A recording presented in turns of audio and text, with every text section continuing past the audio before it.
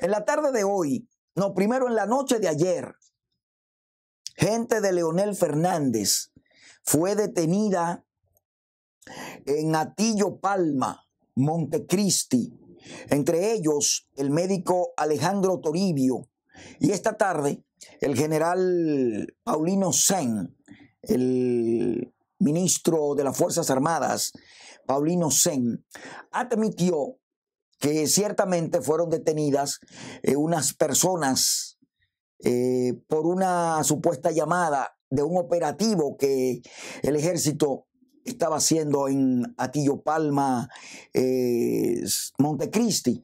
Sin embargo, los detenidos eran gentes de Leonel Fernández que están en campaña y están tratando de conquistar gente para lo que va a pasar el domingo en la plenaria y eh, están tratando de convencer, parece que para que no vayan a votar por la gente de Danilo.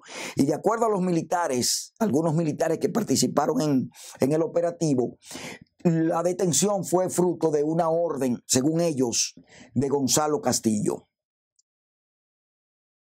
El doctor Alejandro Toribio fue detenido, informó a los medios internacionales lo que había pasado y el general Sen, pues, aclaró que ciertamente habían sido detenidos, pero que era fruto de una denuncia que se había hecho. Esos fueron los primeros que cayeron anoche, lo de Lionel, pero esta tarde se inició una cacería de brujas que abarcó la ONU y abarcó la OEA. Y se cree que este fin de semana o la semana que viene, la cacería de brujas continuará en el Consulado General de República Dominicana en Nueva York, en el Consulado de Miami, abarcaría otros consulados en otros países donde se comenzó esta tarde. La cacería en contra de la gente de Leonel Fernández, declarando ya una guerra total entre el danilismo y el leonelismo, una guerra personal que pone ya de cabeza al PLD y sella en tres tiros la mala experiencia de Juan Bosch y sus creaciones se destruye por sectarismo y por tendencias el PRD, se destruye por sectarismo y por tendencia el PRM, una guerra que no ha, no ha destapado, pero está. Hay una guerra entre el hijo de Winston Arnaud, hay una guerra entre Chuben Cosme, hay una guerra con Andrés Bautista, hay una guerra con eh, Abinader y hay una guerra con Hipólito Mejía, más otras guerras de guerrilla para repartirse el botín de 1.500 millones que le tocarán a los partidos políticos y los cinco partidos mayoritarios van a coger una muy buena tajada y se están ya matando por eso. Y de los hijos de Juan Bosch se cierra la tríada con el despelote que tiene el PLD en estos momentos. Pues bien, en la tarde de hoy, eh, la cacería de brujas desde el palacio ordenó una represalia contra leonelistas que abarca a gente de New York. Eh, los cancelados esta tarde son Juan Ávila y Juan Isidro Martínez, vicecónsules en Boston, Pedro Mejía en la OEA, Ramón Revi Matos y el polémico Carlos Félix, aquí en Nueva York, que están adscritos a la ONU.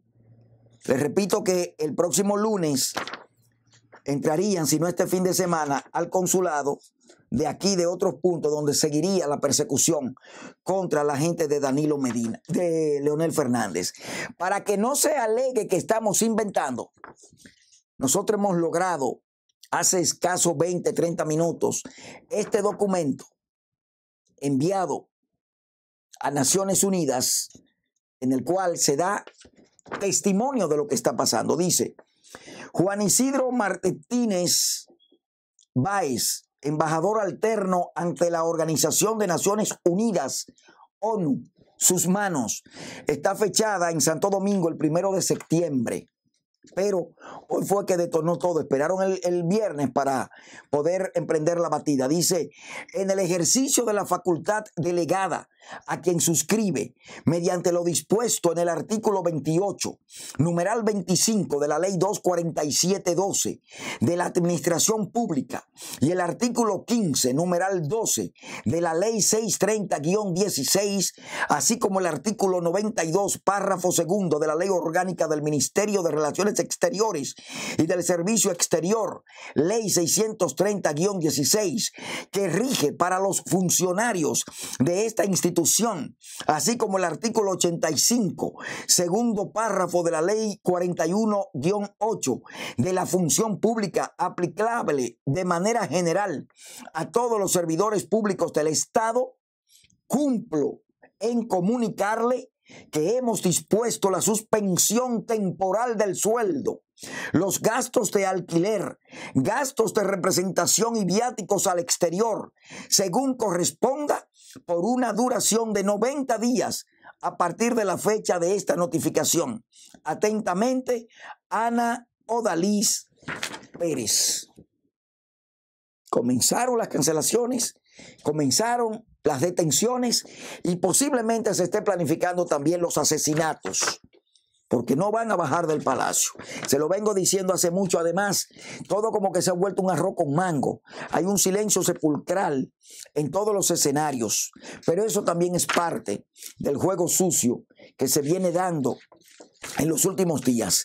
Para continuar en esa ruta, hoy rodó en la capital dominicana y está en, algunos puntos de redes sociales este afiche y una serie de llamadas a diferentes pueblos de la República Dominicana y a dueños de medios audiovisuales de República Dominicana, donde se está ya trabajando en la confrontación de presupuesto con el interés de hacer un festival de la voz que se va a llamar concurso Cántale a Gonzalo 2020. Concurso Cántale a Gonzalo 2020. Y dice, creemos en el talento dominicano y la cultura. Conéctate ya. Envíanos tu canción y contactos a cántale a Gonzalo arroba gonzalo2020rd.com. Premios. Primer lugar, 2 millones de pesos. Segundo lugar, un millón de pesos. Tercer lugar, medio millón de pesos. Eh, arroba Gonzalo 2020RD y tiene todas las redes sociales. Esta es otra modalidad para buscar cédula e ir preparando el fraude que ya se está montando. Te toman tu cédula, te cogen tu número, te cogen todo y luego entonces van y pulgan para poder sustituir. Cuando tú vayas a votar el 17 de mayo, no va a aparecer en muchos de los padrones de la Junta, porque otro ya suplantó o votó primero que tú. Esta es otra modalidad de la gente de Gonzalo y de lo que se está haciendo desde el gobierno sin haber comenzado lo que es la campaña. Así anda la situación, así anda el jueguito dentro del marco político de la República Dominicana. Ustedes pendientes, eh, todo se torna color de hormiga y todo parece ser que va a haber un despelote entre la gente de Leonel y la gente de Danilo Medina. Aquí estamos viendo, aquí estamos viendo a, a, Gonzalo y a Diandino. Eso es parte de un material de corrupción también que vamos a, a presentarle a ustedes en un rato. Pero primero vamos a hablar de la impunidad, de la impunidad en la República Dominicana. Dice que los 10 casos más notables de impunidad en la justicia dominicana. En materia de justicia, el año 2018-19, eh, los expedientes de corrupción no concluyeron, al igual que los más notables casos de asesinatos. El atroz caso del secuestro y muerte de la adolescente Emily Peguero terminó con una sentencia que dejó insatisfecha a su familia y a gran parte de la sociedad. El recuento de los 10 casos procesados más relevantes de impunidad que tenemos, Odebrecht, la sed que han expresado el país para que se haga justicia en contra de los imputados involucrados en el caso de soborno más grande que, que, ha tenido República Dominicana, ha posicionado el caso de Odebrecht como el principal proceso judicial pendiente de sentencia. La constructora brasileña Odebrecht admitió que ante el Departamento de Justicia de Estados Unidos, que en República Dominicana sobornos por valor de 92 millones a funcionarios y políticos a cambio de obtener contrato por miles de millones de dólares, el soborno habría sido pagado a los gobiernos dominicanos entre el 2003 y el 2014. Los encartados en el proceso actualmente son Víctor Díaz Rúa, uno de los imputados. Los demás acusados son Jesús Vázquez, Tommy Galán, Conrado Pitaluga, Andrés Bautista, Ángel Rondón y Roberto Rodríguez. Algunos fueron excluidos por chantaje. Será eh, el próximo, perdón, el próximo 23 de enero eh, inició el juicio cuando el juez de la instrucción especial de la Suprema Corte de Justicia, Francisco Ortega Polanco, retomó las audiencias pendientes del proceso preliminar que se conoció por el caso Odebrecht. Emily Peguero, con apenas 16 años y una vida que apenas iniciaba a florecer, Emily Peguero, que estaba embarazada, fue secuestrada y muerta. Por el caso fueron condenados su novio Marlon Martínez y la madre de esta, Marlene Martínez. El primero fue condenado a 30 años y la segunda a 5 años, que ya eh, bajo una pena discutida, debió salir esta semana, no, no se sabe realmente qué ha pasado ahí.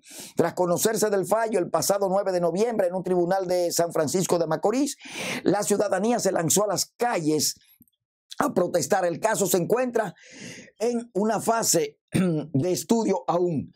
Junior Ramírez quedó en proceso este año en el tercer juzgado de la instrucción del Distrito Nacional. El asesinato del abogado y catedrático Junior Ramírez, hallado muerto en el arroyo Abadía de las Mercedes en el sector Los Alcarrizos, con un bloc atado al cuello con una cadena. Recientemente el magistrado Amauris Matos acogió la petición interpuesta por la barra que representa al Ministerio Público y otorgó meses adicionales de plazo para profundizar las investigaciones que podrían esclarecer el caso, investigaciones que están estancadas. En tanto, ratificó la prisión preventiva al exdirector de la Oficina Metropolitana de Servicios de Autobuses ONSA, Manuel Rivas, exdirector financiero Fausto Rosario y Víctor Elisander El Herrero, quienes a través de sus abogados solicitaron la revisión obligatoria de la medida cautelar en su contra. Quedan pendientes de revisión Jorge Mercado el Grande, Lucas Ortega, Víctor Ravelo el Herrero, Jorge Abreu y Heidi Carolina Peña, esposa de Argenis Contreras. Este último se encuentra aquí en Estados Unidos cumpliendo un proceso judicial. Siguen, siguen todavía eh, alargando los casos para poder dar la impunidad y que se le olvide a la gente. ¿Pero cuál corrupción? Es que hablar en términos genéricos es siempre peligroso. ¿Cuál es la corrupción? ¿Dónde están los escándalos que ustedes dicen de corrupción en el Estado Dominicano? ¿Dónde están?